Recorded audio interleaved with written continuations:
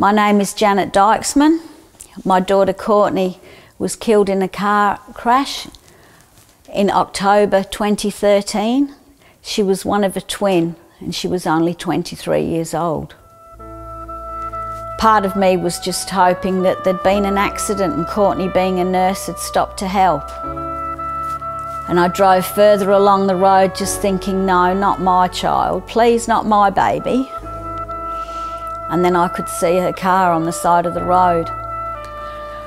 And I pulled over and got out. And I walked closer, and the ambulance lady tried to stop me. And then I looked to the side and I saw her there with a blanket over her.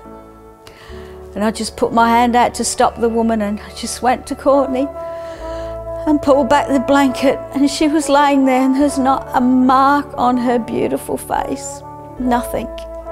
And I just lay down with her and waited for what seemed like ever. But I couldn't have done anything else. I had to lay with her. I couldn't leave her laying there by herself. My daughter was gone. We dial her number and listen to her voice message. Hello, Courtney Dykesman here. Can't get to the phone at the moment. Can you call me back at a later time? We just keep paying her phone so that we can still keep her voice message, so we can still hear her. There's a hole in our life and it will never ever be filled.